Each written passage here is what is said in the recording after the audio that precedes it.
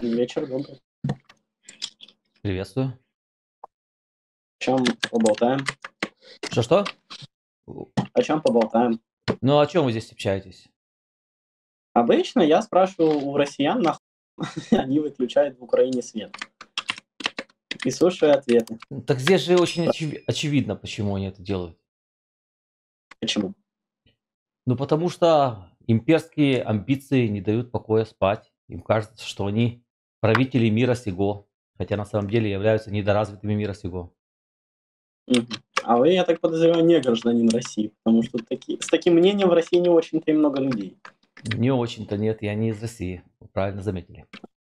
Это...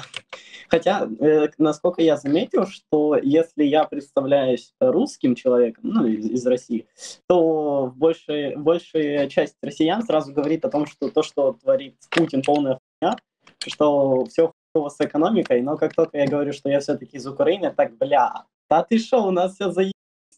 Вы хоть без света, э, и потом меня спрашивают, а почему у тебя есть свет? Типа, ты что, остался? Такой, да нет, типа, электрики включили через два дня. Ну, в чем проблема? Не, ну, во-первых, в Украине... Я нахожусь в Соединенных Штатах Америки, сразу скажу. У нас здесь то, что показывают, А. то, что делают коммунальщики в Украине, но это действительно герой. Потому что помимо Да. того, что они работают, ну, практически не переставая, да, то та система, с которой они работают, например, вот у нас в Америке, да, э, то, что у нас коммунальщики говорят, мы бы быстрее могли восстанавливать. Но так как в Украине есть очень много того, что осталось еще от Советского Союза, например, да, и в тех условиях, в которых они работают, и на том оборудовании, которое они делают, они говорят, вот это вот то, что вызывает восхищение. Поэтому все Соединенные Штаты Америки просто восхищаются, как украинцей, украинской нацией, так украинскими людьми, так и всем тем, что сейчас происходит в Украине. Естественно, очень сопереживают украинскому народу. Сегодня такой случай. Я сам нахожусь в городе Днепр. Днепр, да, я вижу. знаете. Да, я вижу. И сегодня как раз поехал в то село, как раз куда... Ну, у меня там родственники живут, как раз давно не виделись. Приехал, прилетел туда снаряд же, э, там несколько человек убило. Да, я, я, я видел, да. Это, конечно, ну, типа, на самом деле для меня, я прилеты уже видел неоднократно, это не, не такая прям редкость, к сожалению, для украинцев, тем более для детей.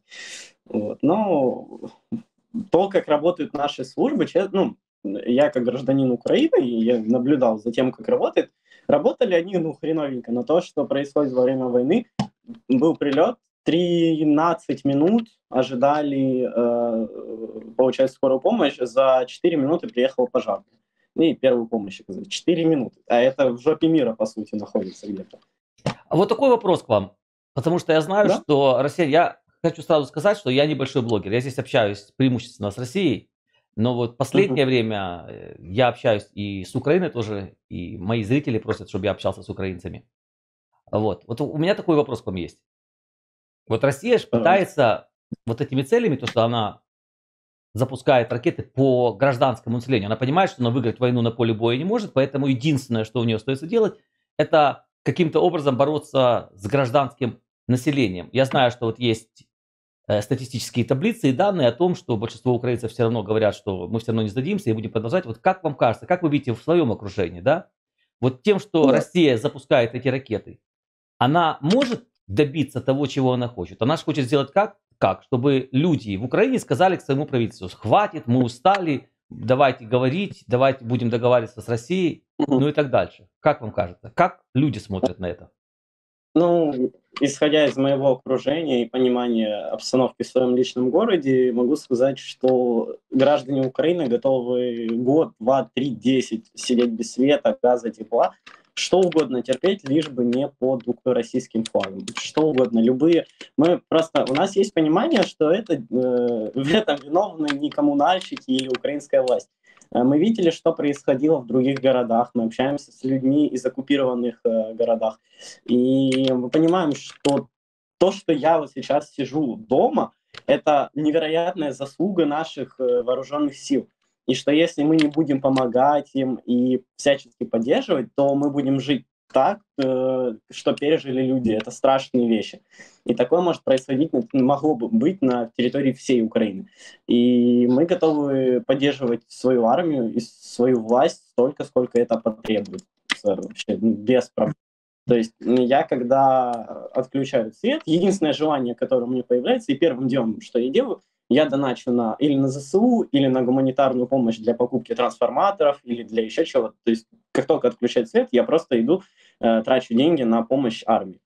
И все, это ну, другого варианта просто у нас нет. Мы не хотим быть с Россией, мы не хотим быть ни марионеткой, ни под флагом России, ни под оккупацией России не хотим даже идти на уступки России. Сегодня был просто диалог с моим отцом, и как раз мы общались за Донбасс, за Крым. И для, для украинцев это просто принципиально уже э, вопрос возвращения своих территорий. Э, почему в развитых странах, как, какими считает себя Россия, Украина, Европа в частности, э, почему какая-то страна может просто захватить чужую часть территории? И это, это уже принципиальный для украинцев вопрос. Поэтому электричество, свет, вот я тоже да, сидел три дня без воды, ну ничего страшного, взял, набрал технической воды, э, все хорошо, живем, ну такие, да, условия. Э, да, сложно учиться, я в ВУЗе учусь, в двух вузах сразу. Да, сложно учиться, потому что сложно выполнять задания, когда нет света и никто не в безопасности. Ну, такие условия на данный момент. Но чтобы мы в будущем так не жили, сейчас нужно это терпеть. И помогать армии, доверять ей, у нас уже просто нет э, смысла не доверять нашей армии. Мы видели, как она действует, и ей просто все благодарны, ну, я в том числе. Это вот такое сжатое мнение, грубо говоря, обо всем. Понятно. Вот такой еще вопрос к вам у меня, если, если можно. Люди это в России нет. сегодня, да, они действительно вот в большинстве своем, несмотря на то, что мне многие говорят, это не большинство, нас тоже много, мы тоже поддерживаем Украину, но вот как я вижу с моих наблюдений, да, то есть большинство сегодня населения России, им не знакомо чувство сострадания, они не понимают, что сегодня переживают жители Украины, да. И если вот спрашивать их, вот как вы видите дальнейшую ситуацию, то большинство из них говорит, до конца нужно, если надо, значит, и инфраструктуру, а если надо вообще ну, чуть ли не стирать города с лица земли, да. То есть вот в таком аспекте у них сегодня построена их э, риторика. Как вам кажется, вот когда все это дело закончится, да, многие россияне говорят, вот есть какая-то часть, э, значит, в России людей, которая согласна будет договариваться там с Украиной о чем-то или как-то. Как вам кажется, что должны сказать украинцы россиянам, да, в конце всего этого? И что должны выполнить россияне? И как должно произойти что-то, что во всяком случае перестанет быть э, стрельба, убийство, ракеты и так дальше? Э, Все по большому счету в руках э, России. Все, что требует Украина, огласил президент Украины, это вывод э, войск э, России с территории независимого государства Украина, а, выплата репараций э, со стороны России. Мы сейчас уже не говорим даже за Донбасс, за геноцид, ну, геноцид, не геноцид, за все эти 8 лет, что там были, была активность, военная деятельность, поддерживаемая Россией, мы за это не говорим. Репарации хотя бы, хотя бы с 24 февраля восстановление экономики Украины – и хоть какие-то гарантии того, что этого больше не повторится. Это можно выразить или в ограничении возможностей армии России, как было по Версальскому миру с Германией, э, чтобы у них там образно был ограниченный флот, или флот не может находиться в Черном море. Ну, я сейчас просто как пример. То есть просто какая-то гарантия, что Россия просто не нападет на Украину снова. И э, возвращение всех территорий Украины. Э, и выплата пострадавшей экономики Украины и людям, пострадавшим от войны. Это все, что мы требуем. От россиян, конкретно от людей, мы ничего не требуем. Нам как было на них все равно, так и остается все равно. Единственное, чего украинцы, наверное, хотят, ну я во всяком случае хочу, я хочу, чтобы мир был заключен таким образом, чтобы Украина, э, для Украины это был не унизительный мир, ну то есть мы вас тут потрепали, но мы вам типа ничего не должны. Вот ваша территория, но вы вот в разрухе остаетесь. Нет, они должны за это заплатить. Но чтобы в России не появились э, реваншистские идеи, как появились в Германии, это самое главное. Потому что с реваншизмом бороться очень сложно, и ни у кого нет э, особого желания. Это все на украинцам, на россиян всегда было насрать. И в данный момент тоже. Нам как бы все равно, что они там думают, что они там хотят. Единственный момент, это был, по-моему, первые две недели войны, может быть, видели в СМИ, что украинцы взывали к россиянам, типа, ребят, все в ваших руках, выходите, останавливайте, пока не поздно, потому что потом все будет очень плохо. И потом нам будет сложнее с вами общаться, если мы вообще захотим с вами общаться. Нас россияне кто-то услышал, кто-то нет, во всяком случае все происходит так, как есть. И от россиян мы требуем возвращения территорий, э, вывод войск с этих территорий, репарации и гарантия, что это просто не повторится. А, это хорошо. все. А осуждение режима и запрет подобных режимов в России, отказ от ядерного оружия, полное разоружение и возможность народам решать свое право на какое-то определение, будет играть какую-то роль? Она-то роль сыграет, но, честно говоря, я даже основываясь на своих знаниях истории политики, при том не в политике я не особо хорош, но это сделать крайне сложно. Принудить Россию к денуклеаризации это будет достаточно сложно. А, но, с другой стороны, это как бы необходимо. Разоружить Россию тоже очень сложно. А, ну, то есть это такие... Смотрите, это я, я, я понял, да, я понял, что вы хотите сказать. Но смотрите, раньше говорили, что очень сложно и воевать будет с Россией. Раньше говорили, что очень сложно будет удерживать украинские территории. Раньше говорили, что Украина падет за три, условно говоря, четыре дня. Причем об этом говорили не только россияне, об этом говорили все в мире, включая Соединенные Штаты Америки. А смотрите, как оно получилось. Все, что, то, что все говорили те, которые считают себя довольно эрудированными, умными, знающими историю, как вы говорите, да, и тем не менее все они, эти люди, ошиблись в какой-то период времени. Поэтому нельзя ничего не допускать, например, да, и в то же самое время я считаю, что нужно про это говорить. Знаете как? Нужно сначала дать им возможность принять то, что это возможно.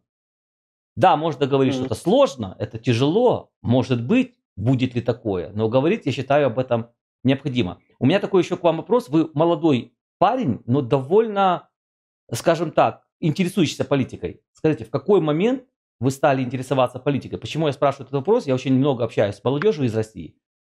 Немного российской молодежи, которые действительно могут четко и ясно выражать свои мысли. Вот как это у вас? Ну, Получается или получилось? Э, ну, тут просто тут достаточно банально. Я просто в девятом классе мне начала нравиться история, и я ее начал изучать, а история это по сути, одна из э, частей политики, одна из говоря, подтем политики. Нельзя строить политику, не основываясь на исторических фактах. И так пошло, я начал изучать историю, сейчас поступил в педагогический вуз э, на исторический факультет, на ИСТФАК. И так получилось, что еще и война, и как бы я могу понять россиян, потому что, во-первых, часть россиян не хочет себя отождествлять с войной, потому что э, они говорят, это не я начал, это не я, э, тут я ни при чем, это вот власть, к, ни, к ним все вопросы. А вторая часть, и поэтому ну, много россиян достаточно пытаются показаться политичными. В Украине все народ, мы должны следить за обстановкой в мире, потому что мы достаточно сильно зависим и от поддержки Э, западной и от э, высказываний э, других стран, политиков. Мы должны это анализировать, понимать, что происходит. И, может быть, для россиян это будет откровением, но не со всеми, реш... не то что решением, не со всеми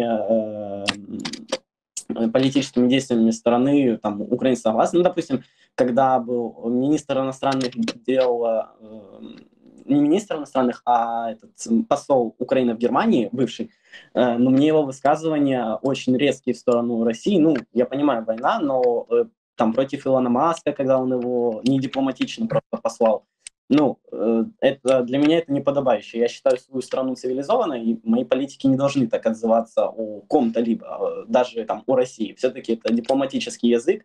Мы должны показывать э, то, что, как говорится, холодный ум и разум. Ну, то есть э, не совсем согласен. У россиян такая возможность есть. Война их не касается прямым образом, у них ракеты не летают, и, в принципе, может быть, все равно, на, ну, гречка подорожала, образно говоря, ну, что, что теперь? Не лезь же в новости э, и для изучения всех политических процессов в мире, что делает его страна, что не так в мире. Ну, то есть им, им может быть все равно, потому что их это не касается. Меня, и в частности, в частности меня, и в общем украинцев, это касается напрямую. Мы должны и обязаны, в принципе, следить за политической ситуацией в мире, поскольку ну, политика сейчас очень важный аспект для победы. Вот, поэтому так, так и сложилось. Ну, у меня еще плюс история. А в большинстве случаев, потому что началась война, э, ну и, в принципе, Украину я считаю более гражданским обществом, нежели Россию, поэтому э, здесь больше людей после Майдана особенно начали интересоваться. Самосознание. Политикой. Самосознание, а не царь в голове.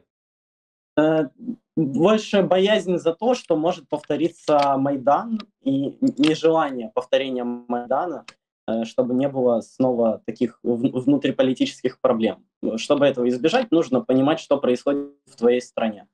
Чтобы это понимать, нужно разбираться в политике или там в истории.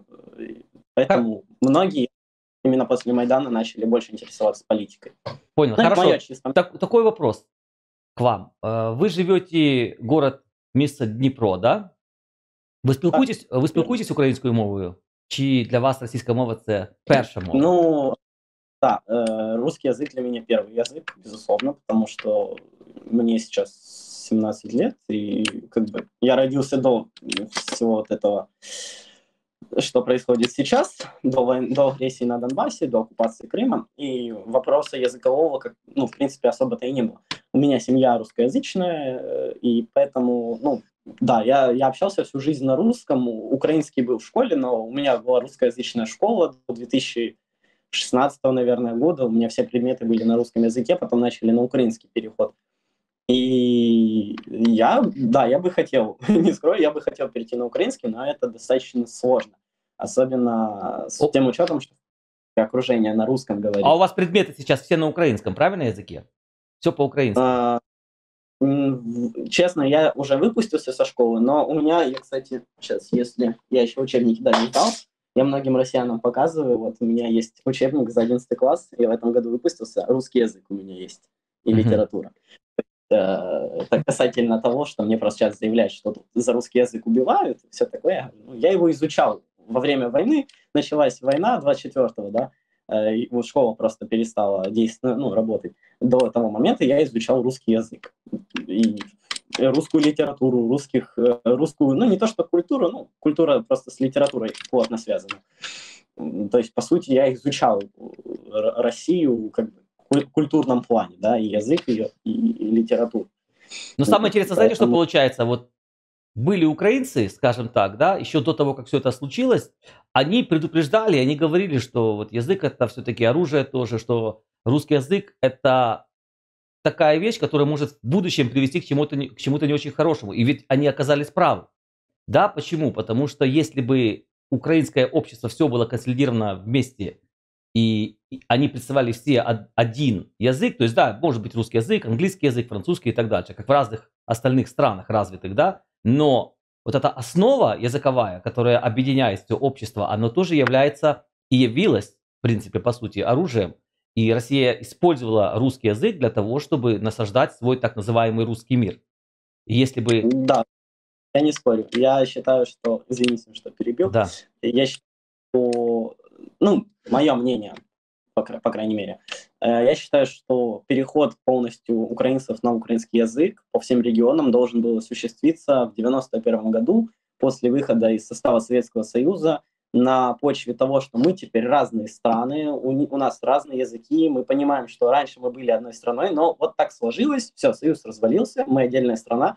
Будьте добры, давайте изучать украинский язык, там будут образно меньше налоги, для, если у вас вывеска в магазине там на украинском будет, э, какие-то плюшки для, ну, как-то подбадривать население изучать украинский язык.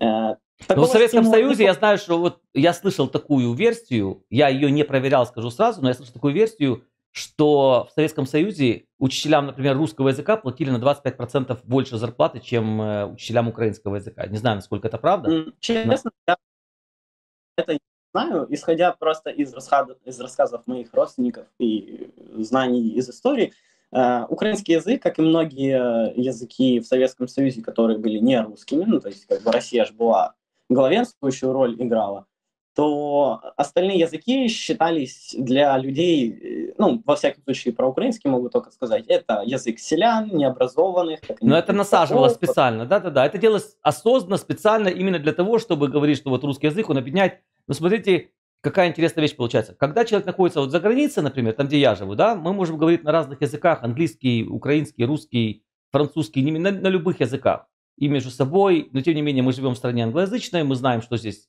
нужно знать английский язык для того, чтобы иметь вот это, вот это, вот это и вот это, да? А в Украине сегодня совершенно другая история. Если бы Россия не вела себя агрессивно по отношению к Украине, тогда языковой проблемы вообще не было бы. И она не может просто быть в априори, потому что украинцы сами по себе народ очень дружный, добрый, добродушный, да, и так дальше. И нету в этом народе никакого хейта, да, никакой ненависти к какому-то определенному языку. Есть хейт к оккупации, к оккупантам, и так как эти оккупанты говорят именно на этом языке, а язык, как мы с вами уже знаем, является оружием, именно поэтому они говорят про это. Они потому что они говорят, что нужно украинский язык убрать. Ведь здесь же идет подмена понятий. Вот со стороны россиян, когда с ними общаюсь, вот они говорят там про русский язык, вот в Украине ущемляют русский язык. Нет, они не ущемляют русский язык. Они борются любыми способами с оккупацией и с насаждением так называемого русского мира. Любыми способами. Почему? Потому что на кону стоит вся государственность, на кону стоит страна Украина и национальные интересы этой страны. И также с, э, приоритеты самой нации как страны, которую Россия хочет уничтожить, как мы знаем. Поэтому язык сегодня очень важен. Поэтому я призываю да. всех э, в Україні спілкуватися українською мовою, але ви можете спілкуватися російською мовою, англійською мовою. Будь. Да, если вы находитесь за границей. Так, вы можете вам, э, ну, як вам э, краще, то і спілкуйтеся. Проблема лише в Росії і, і все. І в окупації, так. І в окупації, так. І коллаборації. Ну, э, коллаборационизм это отдельная проблема, да. Это, это, это есть, к сожалению. К сожалению, такое есть тоже. Потому что это тоже вопрос э, языка. Э, когда был 14 год, и уже началась, в принципе, такая... Ну, политика по отношению к Украине изменилась, наверное, году это я, наверное, неправильно скажу, если в, после э, помаранчевой революции не совсем верно будет это. Эм, но почувствовалось уже с того момента как-то, что Россия э, понимает, потихоньку начала понимать, что Украина будет проблемой что в Украине люди могут выйти, что э, украинцы могут организоваться и, в принципе, добиться, чего они хотят от власти, от чего бы то ни было. И с тех пор начинается похолодание отношений между Россией и Украиной, потому что со стороны Украины особых таких прям проблем с Россией ну, не было. Ну, были исторические аспекты, но прямой какой-то агрессии под, на украинцев к россиянам не было, в принципе, да. И поэтому, ну, там было, конечно, инциденты с Керчью, когда там начали какие-то претензии территориальные э, неофициально заявлять, а военным путем.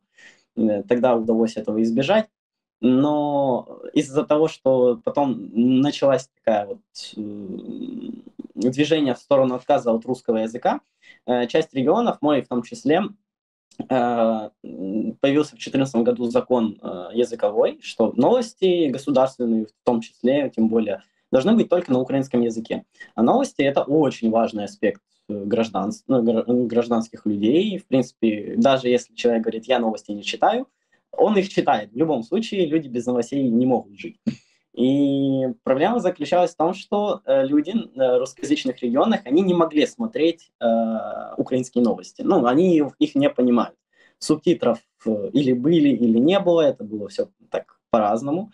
И часть регионов, в частности Одесса, Харьковская область, в том числе, ну, больше всего это, конечно же, Крым э, и Донецк и Луганск, они смотрели большую часть э, российские новости, и там же российские новости это полный бред, там э, уже войну разжигали уже тогда, и это вылилось в очень крупную проблему. Именно, ну, как я считаю, это была такая основополагающая проблема, почему в Донецке, в Луганске это все получилось, и в Крыму в том числе.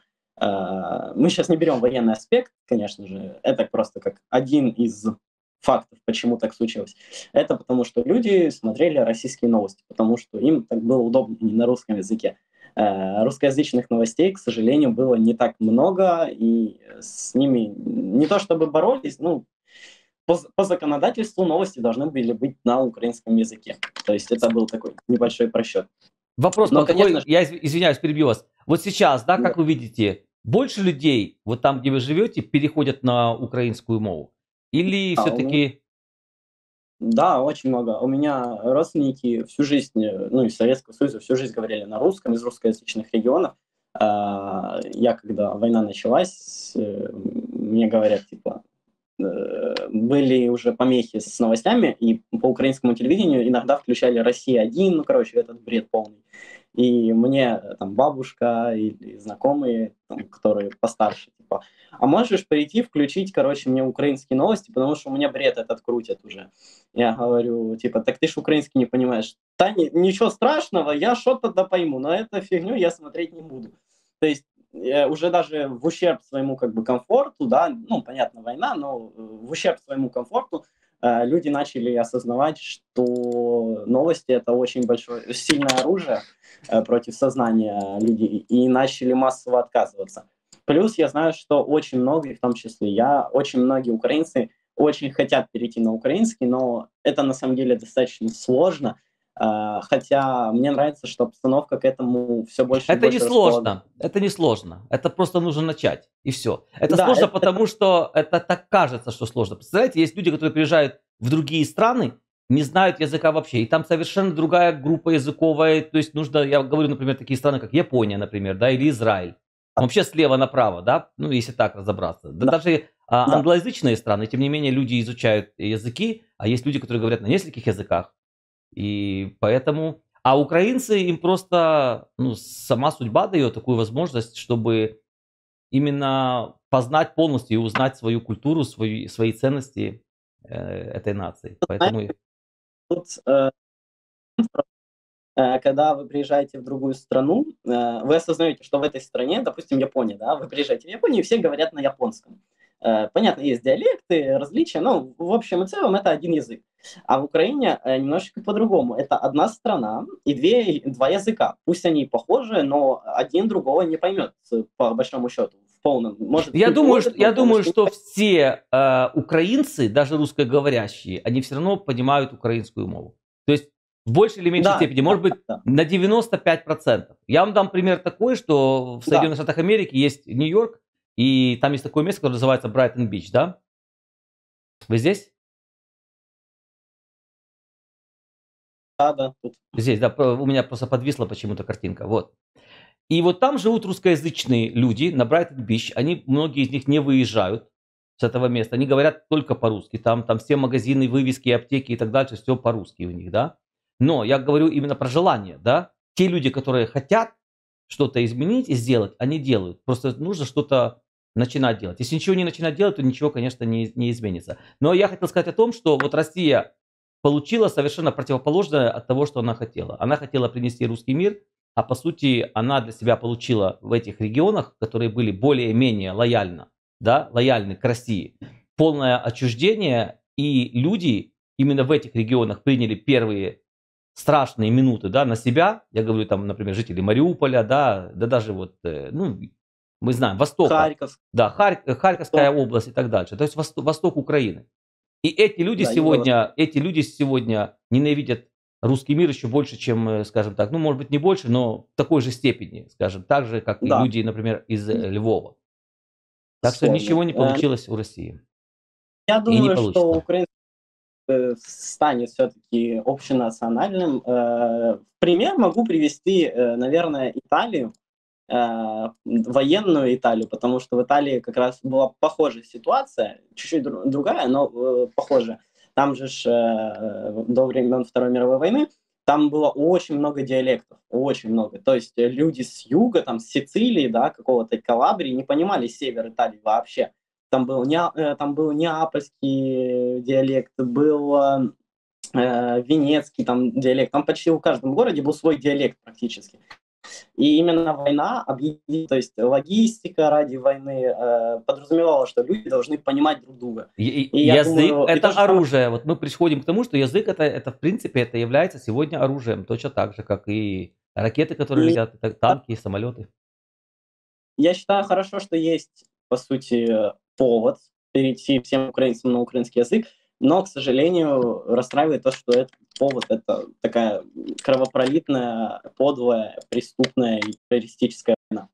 Это, конечно же, э, расстраивает. немножечко не понимаю людей, которые ожидали, что война пройдет гладко, ну, то есть там без особых разрушений, но даже те, кто верили в победу Украины с первого дня, многие действительно считали, ну не многие, часть людей, наверное, правильно сказать, действительно верили в то, что Россия не настолько реалистическая страна, э, не настолько кровожадная. Это знаете, настолько... какой тип, тип людей? Это вы правильно сказали слово «верите». Слово «верить» и «знать» — это разные понятия. Когда человек знает что-то, он знает наверняка. Когда верит, это может быть да, может быть нет. Эти люди хотели верить в что-то хорошее, потому что они себя э, ассоциируют как с человеком, и им кажется, что вот у других людей тоже есть две руки, две ноги, голова и так дальше. Они могут говорить что-то у них человеческое должно быть. А вот видите, как бывает, когда нация больна, а то же самое было, например, с, с той же Италией э, во время Второй мировой войны или Германии, да, Италию раньше вывели из войны, именно каким образом, пока нация не поняла, что она проиграла, то есть жители этой страны поняли, что мы являемся проигравшей стороной. Э, в свое время, когда Советский Союз распался, Советский Союз проиграл в холодной войне, единственное, что не было сделано, это полное признание вот этого проигрыша, покаяние, то есть полный запрет на все эти политические партии, там Советский Союз, там Ленин, Сталин и так дальше. Вот поэтому произошел этот реваншизм, как вы правильно сказали, потому что вот этот Путин, который получил, по сути, сказка о золотой рыбке, он из вора превратился в легального Рокфеллера, ну, если так можно сказать, да, то есть он начинал всю свою карьеру в 90-х годах, да, там получали гуманитарную помощь, потом они эту помощь продавали, и набивали себе карман. Они хотели кататься по заграницам, покупать себе дорогие машины, яхты, самолеты, ну, условно говоря, да. И да, после да. этого, когда они все это получили, они сказали, вот мы сейчас все это получили, у нас есть там деньги, условно говоря, всего мира, а теперь мы хотим диктовать всем остальным, всему этому миру, от которого мы все это получили, свои какие-то условия и правила. Причем эти правила задаются непонятно. Посмотрите, цели войны какие были. Сначала одно говорили, да. потом другое говорили, сейчас третье говорят. То мы не будем договариваться с Украиной, теперь мы хотим договариваться с Украиной. Мы хотим, чтобы Зеленский говорил. А почему Зеленский не хочет? Так вы же что сказали изначально? Вы пришли э, денацификацию делать и демилитаризацию. По сути, уничтожать mm. нацию Украины. А кто вам даст это сделать? Поэтому вот так. Да, к сожалению, расклад дел на нынешний момент таков.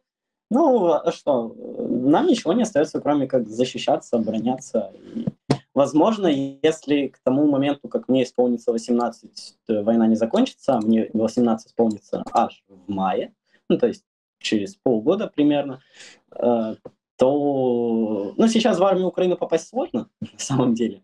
Легче, легче уехать из страны, будучи 18-летним человеком, нежели попасть в армию.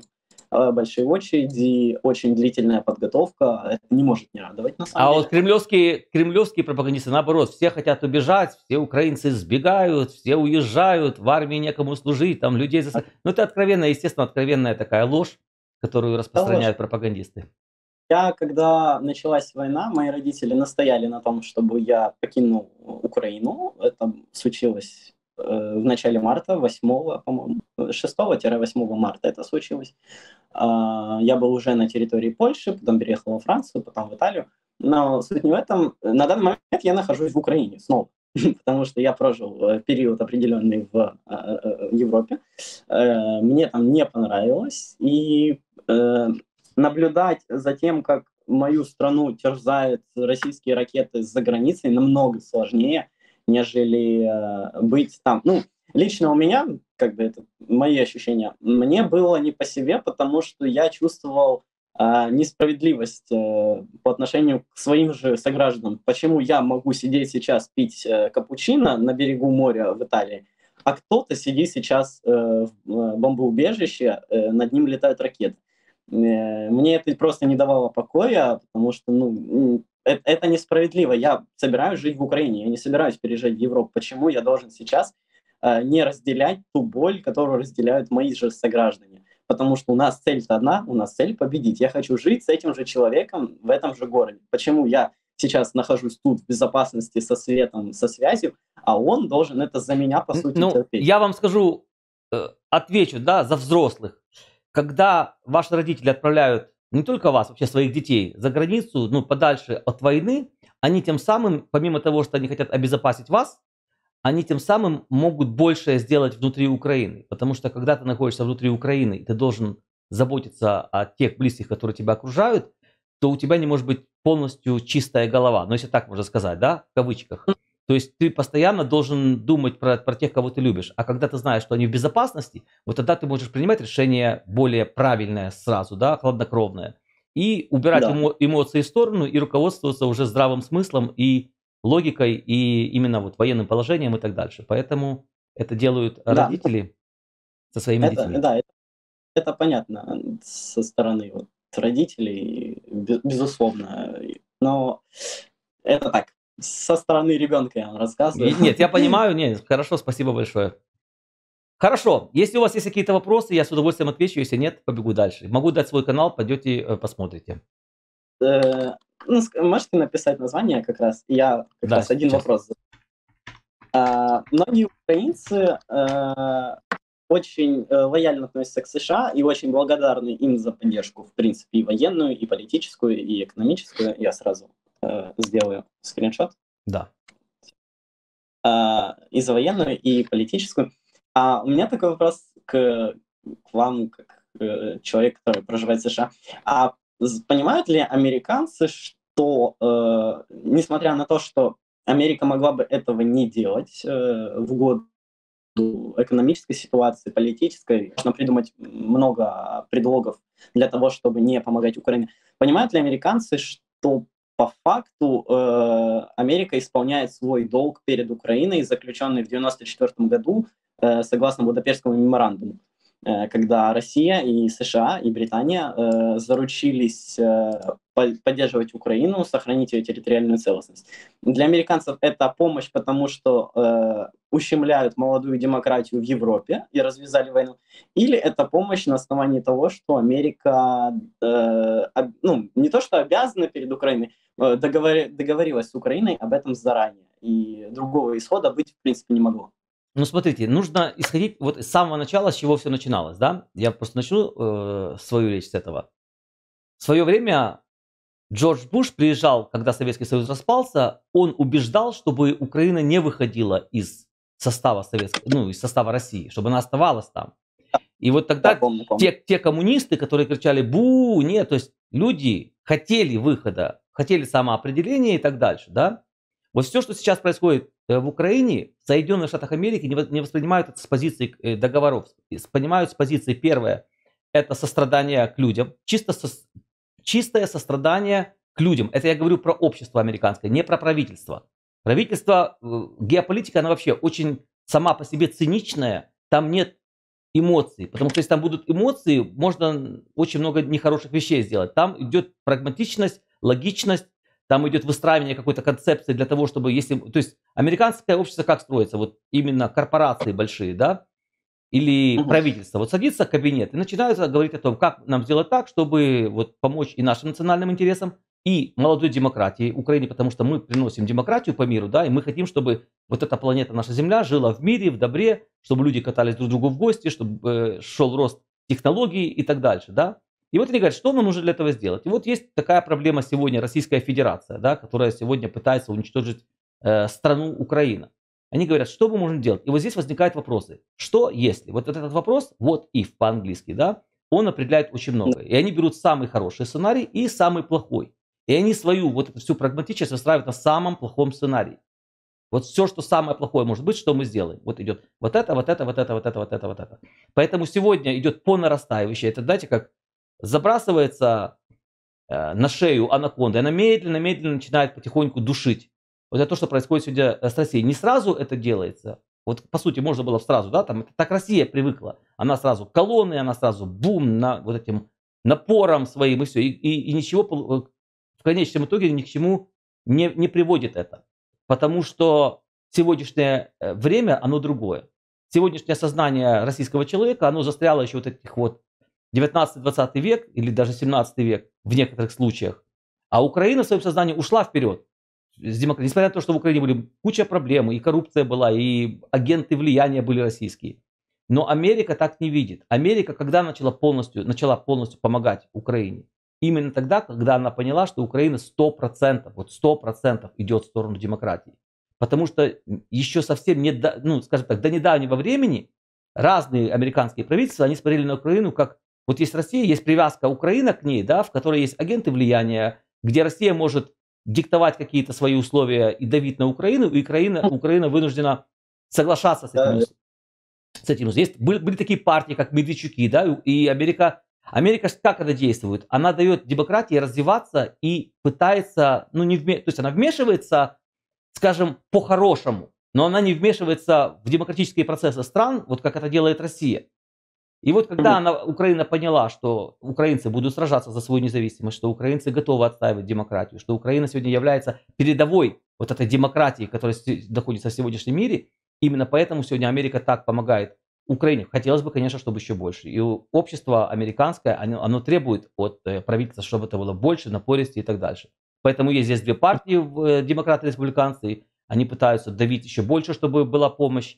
Сейчас демократы у власти, республиканцы пытаются давить, хотя есть какая-то часть общества среди республиканцев, которые говорят, больше не нужно помогать Украине и так дальше.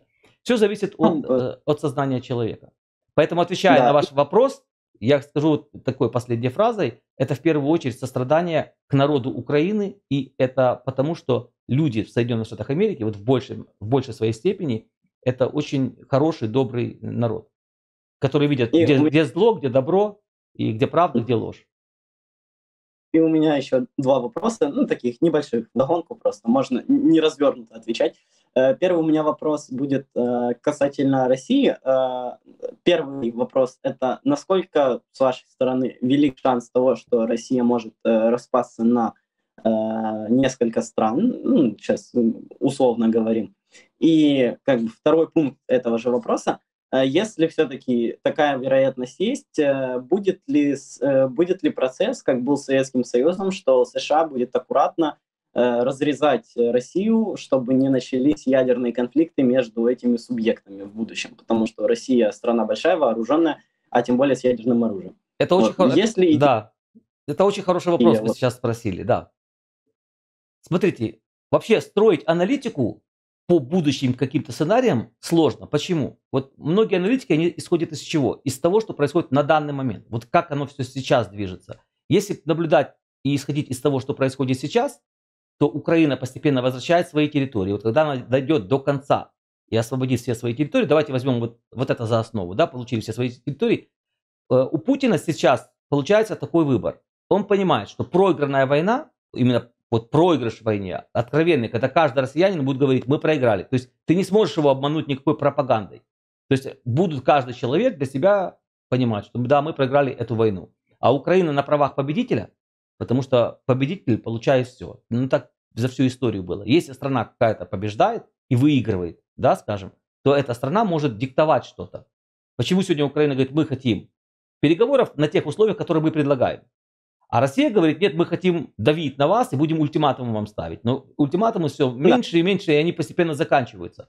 Так вот я к чему хочу сказать. К тому, что если Украина побеждает, внутри России начинаются обязательно, бесспорно, внутренние проблемы и процессы. Так как мы знаем, что в Украине есть, например, тот же легион Свободной России, он называется, там, где воюют жители из России, да, то это эти же самые люди, которые начнут процессы какие-то внутри страны. Я, я так это вижу. Это может быть по-другому. Это может быть коверный какой-то заговор внутри страны. Это может быть, когда бунты начнутся, когда люди начнут что-то понимать и просто бунтовать. Да? Они будут кричать «Путин, спаси нас!», там, бить касками по асфальту или еще что-то. Но тем не менее все равно. И найдется кто-то из властной структуры, который захочет это изменить и получить для себя власть. Такие люди есть всегда, в любом государстве. Это было да. за, всю, за всю историю. Когда генералы летали да. из Советского Союза в Соединенные Штаты, договаривались, представьте себе картину. Есть такая группа людей, назовем эту группу X, мы не знаем, кто это, которые уже говорят с американцами, которые говорят, мы хотим это, это, это, это, им американцы говорят, мы вам поможем сделать вот это, вот это, вот это, если будет вот это, вот это, вот это. То есть первое, это территориальная целостность Украины, она не, не, не должна трогаться. Это, как мы говорили с вами, демилитаризация России. Это полный запрет на все политические партии. Ну, я условно говорю, да? И вот потом да, эти да. процессы будут постепенно-постепенно двигаться. Хотя я думаю, что сценарий будет именно в какой-то момент может произойти военное столкновение внутри России, начнутся процессы и постепенно начнутся отделение частей территории России. Вот как мне видится. Я понял, я услышал. И, кстати, так просто догонку сейчас новость вышла, что ФБР объявили в розыск э, Пригожина а за 200 Смотрите, когда россияне говорят о том, что вот это, то, что объявили страной, поддерживающей террористам, парламентская ассамблея, да, там ООН, Ев, Европарламент, это же, это же рекомендательно, это же ничего не стоит. Нет. Я всегда привожу такой пример, это как стакан воды, да, вы по капельке капаете, капаете, в какой-то момент он все равно перельется.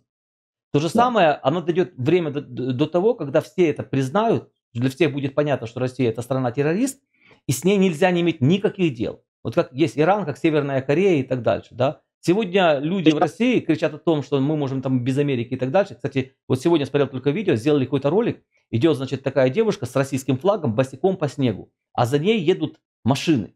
И все эти машины импортного производства. Это очень, им кажется, что они этим поднимают дух, а на самом деле это очень характеризует сегодняшнюю Россию. Вот в этом вся Россия. У вас кроме снега и флага, да, и вот э, женщины босиком, которая идет, больше ничего нет. Вот все, что ну, за ней они... стоит, это все уже не ваше. Оно вам не принадлежит. Весь мир сейчас, э, мировая глобализация не обошла Россию стороной в американских технологиях есть там украинские технологии или э, британские.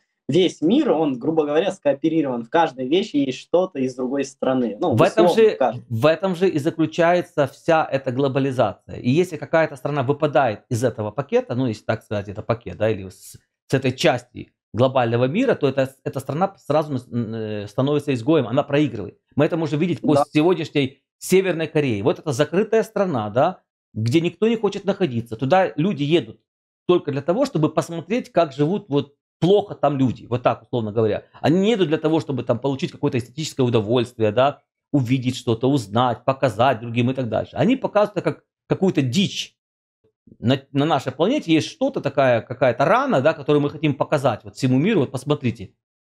Что-то. Что-что? что-то необычное, чего нет нигде больше. Да, совершенно верно. Только показать вот эту необычность. Хотя на самом деле жители из Северной Кореи пытаются убежать в Южную Корею. Этим все сказано. Южная Корея да. это часть вот этого цивилизованного мира развитого, да, который дает технологии развития и так дальше. И все люди, включая россиян, которые сегодня кричат о том, что там Америка, там, враги, там, Европа и так дальше. Эти же все люди, они хотят жить, учиться, лечиться в Европе, в Америке, в Австралии, Канаде и Южной Корее. Не, не даже наверное, открывать тему того, э, как э, влияние США и Советского Союза сказалось на странах. Мы видим Южную Корею, Северную Корею, мы видим, ну, с Китаем, Тайванем чуть-чуть сложнее. Мы видим сейчас Японию, как она после США выглядит на данный момент, одна из передовых стран, как и Южная Корея. Германия а. И последний такой вопрос, как человек, который живет в США. Как вы сейчас можете оценить отношения, э, отношения Америки с ну, США э, с Китаем? Просто, на мой взгляд, они после встречи на G20 э, как по мне, не то чтобы договорились, скажем так, они нашли пути стыковки, у них появились общие идеи, общие, ну, не то чтобы цель, но общие мотивы, общие цели – безопасности мира, и мне кажется, что они потеплели. Ну, это на мой взгляд. Как на ваш взгляд, вам виднее просто оттуда? Они не потеплели. Вот Соединенные Штаты с Китаем себя ведут так. Натянуть, чуть-чуть отпустить, натянуть, чуть-чуть отпустить. Да, да. А, то на есть они, мы... они не ведут себя с Китаем так, как с Россией. Почему? Потому что Китай еще не ведет себя так, как ведет себя Россия. Вот это так нагло, ноги на стол забросили и так дальше. Да? Вся китайская промышленность и все китайские технологии тоже вышли из западного мира. Э, в свое время, да. с 90-х годов, когда значит, шло это становление и России, и Китая, Россия воровала очень много. Вот Путин, вся вот эта бригада, да, делили между собой э, награбленное и делили все запасы, все таблицы Менделеева, да, которые находятся на территории России. А Китай в это время что-то делал. Какие-то правильные шаги. Очень много молодежи ездила учиться в Соединенные Штаты, например, или Великобританию, да, потом возвращались в Китай и пытались что-то создавать. Сегодня Китай понимает, что они не хотят находиться под санкциями, они не хотят быть изгоями, потому что они знают, к чему это может привести. Они понимают, что сегодняшняя вся система китайская, особенно сейчас в estate, да, там идет ну, чуть ли не коллапс, когда уже построенные почти какие-то центры, они сейчас э, должны быть остановлены, заморожены и так дальше. Нет возможности это финансировать и так дальше. Поэтому Китай пытается договариваться э, с Соединенными Штатами показывая остальному миру, ребята, смотрите, вот есть Соединенные Штаты, да, это такой большой гегемон, но вот мы здесь тоже рядом с Китаем, э, тоже рядом с Соединенными Штатами. Поэтому вы, американцы, тоже нас как бы принимаете, что мы вот тоже такие вот большие, мы, а как же китайцы назвали? Они биополярный мир назвали, они не назвали его многополярным, как это хочет Россия. Да. Это ж Путин заявлял о том, что вы привыкаете уже многополярный мир. Какой многополярный мир? Если Россия это полтора процента мирового ВВП и по сути из себя ничего не представляет. А ну, Китай, да, плюс... а, а Китай нет, поэтому люди, вот например в Соединенных Штатах, вот они живут, строят, пытаются создавать что-то, а жители Китая сегодняшнего, да, это те люди, которые узнали что-то, что раньше они не знали, до того, как они попали в эту западную систему. Вы смотрите, что именно объединяет сегодняшнюю Россию и Китай. Это две страны, которым позволили, позволил западный мир войти в эту систему. Не Америка вошла в Китай, а Китай вошел в, э, в Америку. Ну, если условно говоря так. И не только в Америку, я говорю про весь развитый мир. То есть Франция, Германия, западные страны, Япония, Южная Корея и так дальше.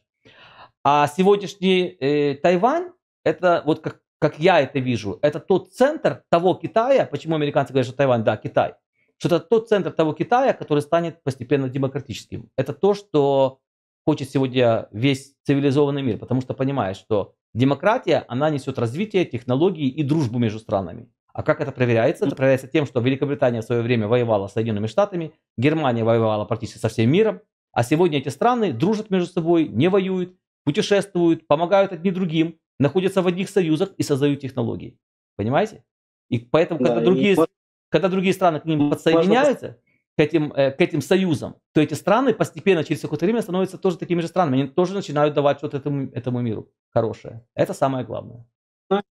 Плюс, наверное, зависимость экономики Китая. Ну, э, поскольку если, если западная часть мира, э, такая ситуация произойдет, что им необходимо будет ввести санкции против э, Китая, то это хоть и вызовет глобальные проблемы в мире, но Э, это не ресурсные проблемы, как с Россией. Это ну, будет, того, что... даже если, вот представить себе, Китай вычеркиваем из мира, вот общего, да, оно немножко да. потрясет, немножко, да, потом постепенно сбалансируется, а потом все равно оно станет. Это уже было, это уже мир показывал. Россия и Советский Союз были вне этого мира, и этот мир развивался и жил. А вот эти страны, Россия и Китай, захотели примкнуть к этому миру и стать частью этого, этого глобального мира с развитием и технологиями. Поэтому все это уже было. Это можно посмотреть по, э, по этой истории.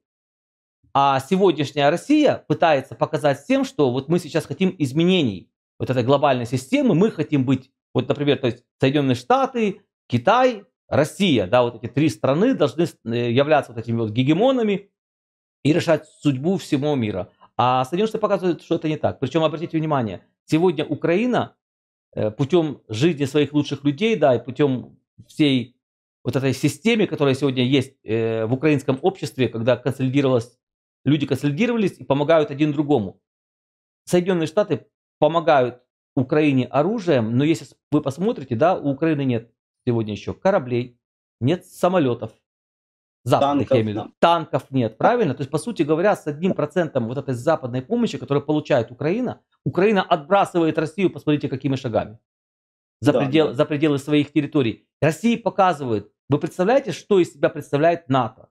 Вы с Украиной да. не можете справиться, вы не можете справиться с, теми, э, с тем оружием, с которым воюет Украина с вами. По сути, Украина сегодня, Россия себе заявляет, как мы там космическая и там э, держава, в которой есть корабли, да? Страна, в которой есть морской флот, морской флот проигрывает стране, у которого, по сути, этого флота нет. Понимаете, как? И весь мир это Вообще, смо- да. смотрит, и поэтому восхищается украинцами. Понимаете? Вот с этим, с тем оружием, которое сегодня есть, поэтому пробуем, чтобы у Украины было больше оружия, чтобы она получила для себя. Я считаю, что а, атака МС Украина должна получать, даже для вот этого паритета и даже для того, чтобы Россия знала, что у Украины оно есть. Правильно э, говорят в Украине, что даже если мы не будем стрелять по ним, но они будут знать, что оно у нас есть, уже это будет огромной, да. огромной большой пользой для сегодняшней Украины. Поэтому я считаю, что Украина должна получать все. И самолеты, и танки, чтобы Россия знала, что эта страна защитит, защитит себя, а также сегодня эта страна защищает и остальной цивилизованный мир. Лично так мое мнение, что если у, у России будет э, на столе ультиматум от Украины, что ракетный удар по Киеву, это ракетный удар по Москве, по Днепру, по Питеру, по Харькову, это по Казани и другие города, то ракетные обстрелы, во-первых, могут или вообще прекратиться, или снизиться до минимума. А, и вот такой последний, наверное, завершающий вопрос, не особо большой, просто ваше мнение. Э, недавно был инцидент с Польшей, о котором все знают, и э, чисто позиция украинцев, ну, в моем окружении, во всяком случае, многие украинцы считают, что э, это НАТО сдерживает саму себя от прямого, кон- прямого конфликта с Россией, хоть э, украинцы понимают, ну, с нашей стороны, да, э, НАТО не хочет воевать с Россией. Почему из-за одного диктатора должны гибнуть люди из Германии, из США, из э, других стран, которые, по сути, конфликту не при чем. И вот такой вопрос. Действительно ли вы считаете, что это украинская ракета, или же все-таки э, это способ э, как-то избежать э, всеми путями э, прямого столкновения НАТО и э, России, чего не хочет, э, в принципе, ни один мир, и даже многие украинцы, потому что, понятно, нам будет намного проще и легче, но это уже вопрос к гражданам США и гражданам другим. Почему они должны тоже умирать?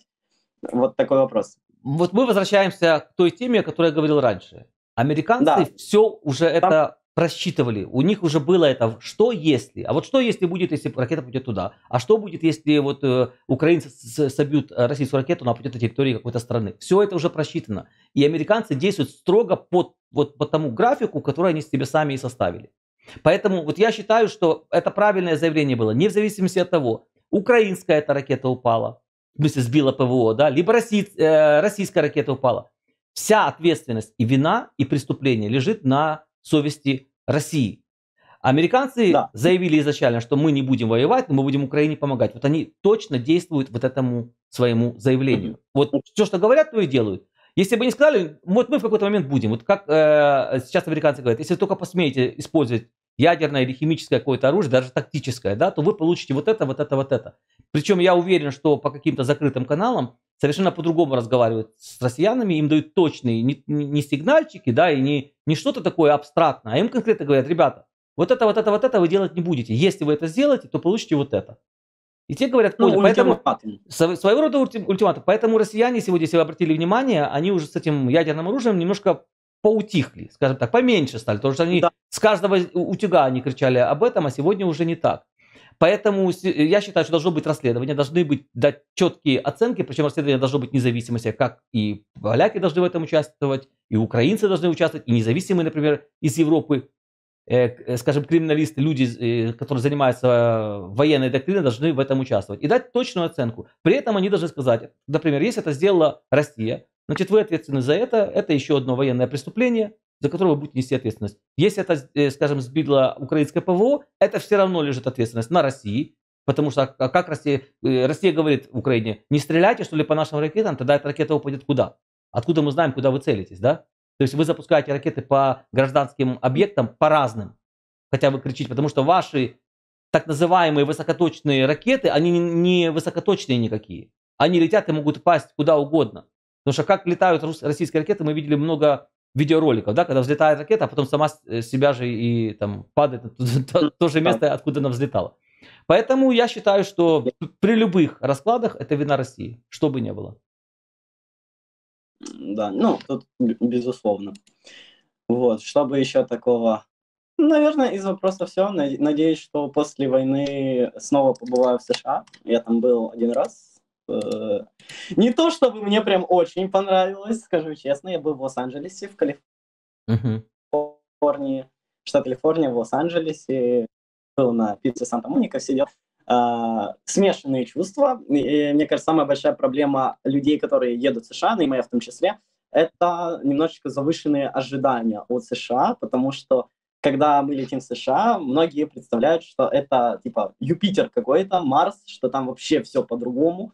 А, нет, это такая же страна, как и многие, э, и э, фундаментально она другая, но э, на показ это не всегда легко увидеть. Но в любом случае мне там очень понравилось я как-то выходил из магазина, а там погоня за... полицейская погоня с вертолетом, я думаю, как в фильме каком-то выглядит все, прям как в голливудских блокбастерах.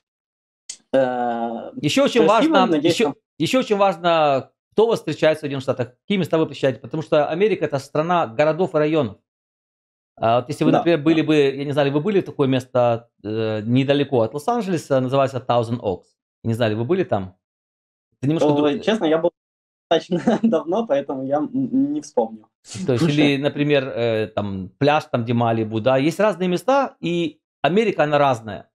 И бесспорно, в Америке да. есть э, свои какие-то проблемы, но это действительно свободная демократическая страна. Это страна с возможностями, и это доказывает то, что мы сегодня видим вокруг нас, то, что нас окружает, технологии и те люди, которые сегодня есть, и те корпорации, которые сегодня есть. То есть самые, самые топовые корпорации это американские. То есть я говорю там Apple, Amazon, Google, да, и так дальше. То есть все эти, это только те, которые много людей знают их, а есть еще очень много, которые делают лекарства разные, да, разрабатывают разные, скажем, там, протезы, разные всякие какие-то вещи, которые помогают ну, нашему окружающему миру, да, и так дальше. Поэтому эта страна удивительная, прекрасная, хорошая страна, оптимальная, но со своими какими-то проблемами, безусловно. У каждой, у каждой страны есть свои изъяны, э, аспекты, не всегда плохие даже, поэтому... Да. Я, аспект, который мне не нравится в США, наверное, ну вот так критично, это их отношение к ЛГБТ и э, толерантность. Мне кажется, ну это просто с моей стороны, э, вот я как житель Украины, у нас э, к меньшинствам и к э, там, темнокожим людям, там, азиатам относятся спокойно. Нам не холодно, не жарко. Есть общеустановленные правила, им следуют ну, просто все. А в США, ну, по моему мнению, э, есть очень большой перегиб в сторону того, что этих людей нужно как-то защищать, оберегать. Хотя у них прав э, больше, чем в США, нет нигде, но их все равно в США нужно еще больше поддерживать. И для меня это просто не то, что я против или за, мне, честно говоря, все равно, это другая страна, не моя.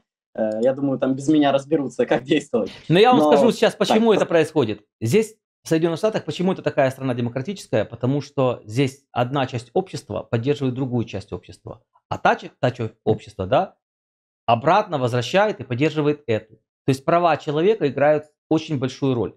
Хотя здесь есть в Соединенных Штатах люди, которые, например, не поддерживают очень, скажем так, яростно, да, ЛГБТ и так дальше. Но тем не менее, вот сама вся система вот эта оптимальная. Вот я живу в штат Аризона, да, например. Мне, чтобы там условно говоря, найти ЛГБТ там и так дальше, мне нужно хорошо постараться, выйти, погулять, пройтись куда-то, сдать точное да. место, там какие-то клубы и так дальше. Этого нет здесь. Это не то, что пропагандирует, скажем, Россия. И очень часто, кстати, жители вот постсоветского пространства, они смотрят именно с той позиции, что вот если у нас не так, а там очень сильно там открытие это, да, то это плохо. Но тем не менее, сама система, она определяет и показывает, что хорошо, а что плохо. И американские mm-hmm. союзы – это те союзы, в которые другие страны хотят вступать, скажем так. А вот российские, да. а российские союзы нет. Если бы, скажем так, если бы вы пожили какое-то время в Соединенных Штатах, не как турист, а вот именно пожили, вы бы точно понимали, о чем я говорю. Здесь нет того, вот то, что вы сказали, что вот слишком много или слишком мало, нет такого много и мало. Есть права человека, или они поддерживаются, эти права человека, либо нет. В Америке эти права поддерживаются, поэтому каждый человек перед законом Э, равен. Что ты полицейский, что ты какой-то э, какой-то другой специальности, что ты депут, ну не депутатский, у нас, скажем так, где такого, да, там Конгресс, Сенат и так дальше. То есть все равны перед законом. При этом права человека играют огромную-огромную роль.